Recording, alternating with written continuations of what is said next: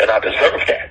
Mm-hmm. I don't deserve to die because somebody miscommunicated or somebody took a guess at what's going on with my leg. I'm supposed to die that way. I'm not even supposed to, you're not even supposed to take a chance on that. Because it was your child, if it was your father, if it was your mother, somebody you love, you would have said, go to the doctor. We need to get that checked out. We need to look at that. We need to x-ray that. And that's, that's why I'm speaking out on this because I'm scared for my life in, in, that area. And who wouldn't be? That's right. Who wouldn't be? Animals better than that. That's right.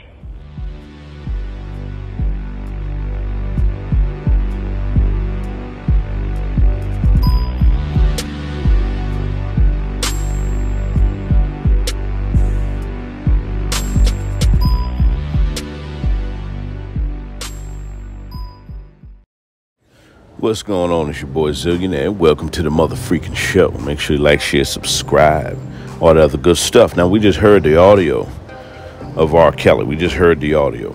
Now, I'm going to give you my thoughts about the audio. Um, it may be a medical condition. I don't know, but I think it's a combination of things.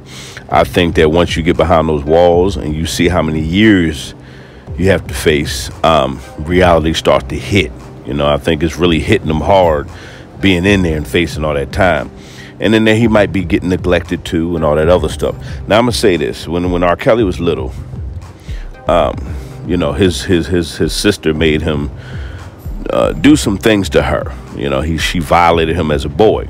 I believe some of those issues he never got resolved. He never got counseling for what his older sister did to him, and also his brother talked about what their older sister did to both of them. Okay, um, for some reason it had, I guess, it had a dramatic effect on um, R. Kelly, where you know he's, you see, he got some issues, he got some problems going on. Now, do I believe everything they're saying? No, because if you're run, if you're running a trafficking ring, other people should be arrested. R. Kelly should not be the only one arrested. If you're saying he was running a trafficking business, okay, that is a corporation, that is a, a, a slew of people, that is an organization that has to help you run that, okay?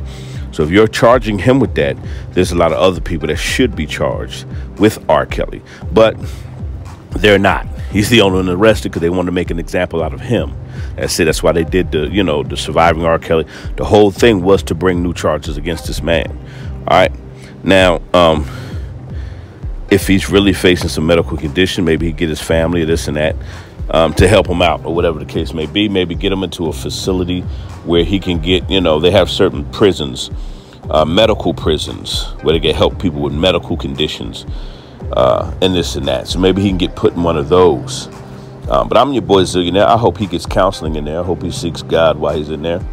But like I said, my only issue with this case is what he was being charged with. There's other people that should be arrested too. That's it. If you're charging him with this, if you're saying he did all this, of all these women coming forth supposedly, there should be parents arrested for pimping their children. Uh, there should be parents arrested. Yes, yes, because they, they, they their children out to him. And um, there should be some managers, some promoters, some people around him um, that should be arrested too, man. I'm your boy Zillionaire, giving you the news. I'll keep you updated on R. Kelly's condition. But um, he said he fears for his life. He said he's afraid that he's going to die. Um, I think he may be afraid that he may die in prison. I mean, that like those may be his final days. You know what I'm saying? And um, I think he's thinking about that too, as well as his medical condition. And also with those type of charges, um, somebody may could be, you know, threatening to take his life or something. People could be, you know, guys in prison probably, you know, are saying we're going to do this to you, we're going to do that to you. Oh, you did, you know, because certain charges, you know, you put a target on your back as well, whether they're true or false. You know what I'm saying? The target is going to be on your back in prison. So I think it's a combination of things that R. Kelly is afraid of or fearful of right now. But he better seek the Most High. He better seek God Almighty. He better seek God. He better seek Christ and um, get his soul, get his mind right, and uh, all that other good stuff. Um, but I pray for the brother that he comes to the light and that, um, you know, whatever's going on with him, that he give it over to the Lord. I'm your boy Zillionaire. I'm out of here. Let me know what you think about R. Kelly. talking about he fears for his life in prison and uh, saying he has these blood clots and uh, he has a medical condition. But I think he's fearful of a lot of things, not just that. I'm out of here.